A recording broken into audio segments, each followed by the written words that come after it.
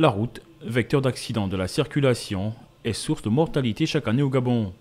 La sécurité routière devient dès lors une préoccupation importante pour les autorités en charge de ce secteur. Et pour coller à cette politique, des concepteurs gabonais ont mis sur pied une application numérique pour répondre à cette problématique de transport routier. Plus de 985 morts en 5 ans. Et d'après notre analyse, pour nous, il s'agit de, des faux documents de transport, donc du faux permis de conduire ou du vrai faux permis de conduire, qui est pour nous euh, la raison de ces accidents de voiture. Le permis de conduire est un diplôme d'État. L'obtenir sans passer les examens nécessaires, c'est une fraude, c'est un crime.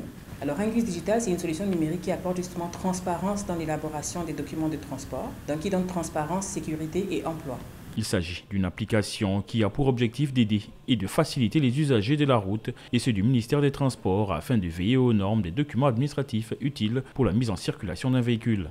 Il y a de gros impacts socio-gouvernementaux. Il y a la création de plus de 158 postes pour l'entreprise Ingus Digital, euh, l'accessibilité en temps réel au flux des infractions routières, il y a l'arrêt du racket des transporteurs et il y a euh, la non-falsification des documents de transport. On n'intervient pas au niveau du travail des fonctionnaires du ministère du Transport, on apparaît en amont et en aval. Outre le volet sécurité routière à proprement dit, l'application a également un pan employabilité avec une main-d'œuvre locale et de nombreux avantages on propose nos services au ministère des Transports et je pense qu'il est quand même important de regarder la possibilité d'avoir des PPP ont des contrats avec des compétences locales.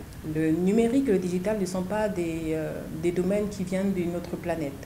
Et euh, nous avons ici des Gabonais compétents, capables de prendre euh, le besoin du ministère des Transports dans la numérisation des documents de transport. C'est une autre façon d'accompagner les autorités du ministère des Transports à simplifier et fluidifier l'accès aux documents utiles pour la prise en main d'un véhicule.